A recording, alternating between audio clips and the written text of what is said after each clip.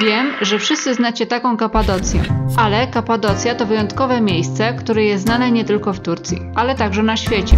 Magia Kapadocji zaczyna się w momencie, gdy do niej wejdziesz. Dzięki wyjątkowym bajkowym kominom, balonom, które ozdabiają niebo, przyciągającym wzrok dolinom, podziemnemu miastu o zaskakująco pięknej architekturze i skansenowi, który zabierze cię w zupełnie inny świat. Kapadocja sprawia, że czujesz się jak na zupełnie innej planecie. Teraz przygotujcie się na krótką wyprawę po Kapadocji, miejscu, w którym matka natura drobiazgowo tworzyła nieopisane cuda, a żywe ślady historii, kultury i religii do dziś stanowią nierozerwalną całość.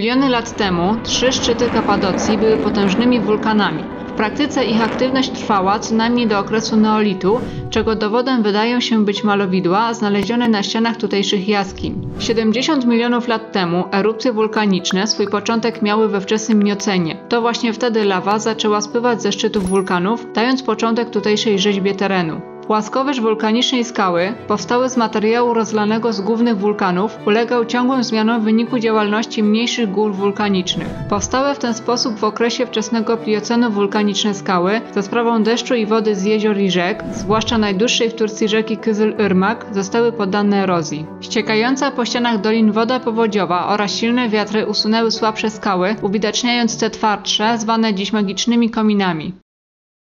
Şu anda içinde bulunduğumuz ve adına Kapadokya dediğimiz bölge yaklaşık 12 milyon yıl önce göllerle kaplıydı. Yeryüzü o zamanlar hayli hareketliydi ve şu anki yaşam formları da mevcut değildi. Zamanla yanardağlar harekete geçti ve volkanik patlamalar gerçekleşti.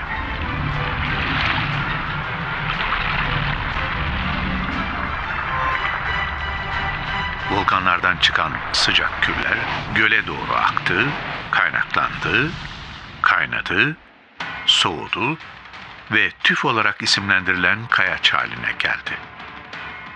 Göl kuruduktan ve tüfler yüzeye çıktıktan sonra ilk oluşumdaki soğuması sırasında tüflerde oluşan dik çatlaklar boyunca zaman içinde akan yağmur ve kar sularının etkisiyle kayaçta ayrışma ve erozyon oluştu. Bu olaylar ve daha sonra kısmen etkili olan rüzgar şu anki ismiyle peri bacalarını oluşturdu.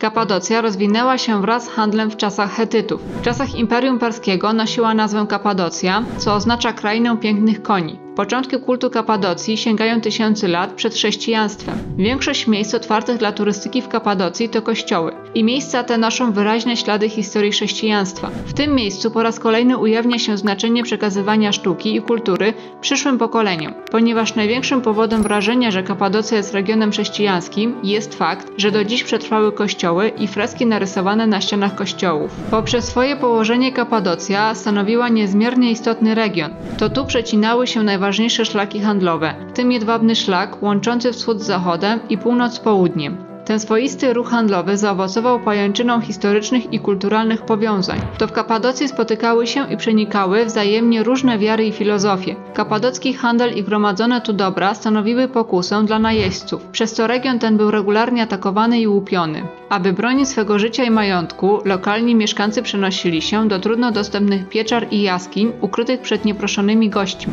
Ponieważ konieczne okazało się przetrwanie w ukryciu przez dłuższy czas, siedziby te zaczęły powoli zmieniać się w podziemne miasta, posiadające własne studnie, spiżarnie, winiarnie, a nawet świątynie. Powstanie niektórych jaskiń datowane jest na czasy przed naszą erą. We wczesnych latach pierwszego milenium grupy chrześcijan uciekające spod rzymskiego panowania i poszukujące schronienia zaczęły przemieszczać się w niedostępne partie Kapadocji. Jedna z takich grup przybyła z Jerozolimy w II wieku naszej ery, osiedlając się w pobliżu dzisiejszej miejscowości Derin Kuju. Odkryli oni, że wulkaniczna skała jest łatwa w obróbce. Zaczęli więc drążyć w niej mieszkalne sale i jaskinie, łącząc je siecią podziemnych tuneli. Historia Kapadocji nie ogranicza się jedynie do świata pogańskiego i chrześcijańskiego. Odnaleźć tu można również elementy tradycji islamskiej. Wraz z przybyciem islamu do Anatolii, Kapadocja stała się domem wielu znanych myślicieli i scholastyków. W XIV wieku osiedlił się tu muzułmański mistyk Hadzi Bektashiveli. Rdzeń filozofii tego wielkiego mędrca okazał się kluczem do pojednania wielu grup tureckich w Anatolii. Jego myśli znalazły swoje odzwierciedlenie także w ogłoszonej w 1948 roku Deklaracji Praw Człowieka. Kapadocja jest równie tajemnicza jak jej historia, a plotki o niej rozchodzą się z ust do ust. Każda opowieść ma swoją historię. Historia Kapadocji, która ma setki narracji, od powstania baśniowych kominów po życie mnichów, jest krótka i bardzo wyjątkowa, a jest tak wiele niewiadomych, że historia każdej cywilizacji jest warta wysłuchania. Tak jak powiedziałam, Kapadocja ma wiele tajemnic. Jedną z nich to miasto pod ziemią. Jest to bardzo ciekawy temat. Nawet uważa się, że miasto zbudowali kosmici. Jeżeli zainteresował Cię ten temat, to napisz komentarz, a ja następnym razem zrobię o tym filmik. Dziękuję za obejrzenie, nie zapomnij subskrybować. Do zobaczenia.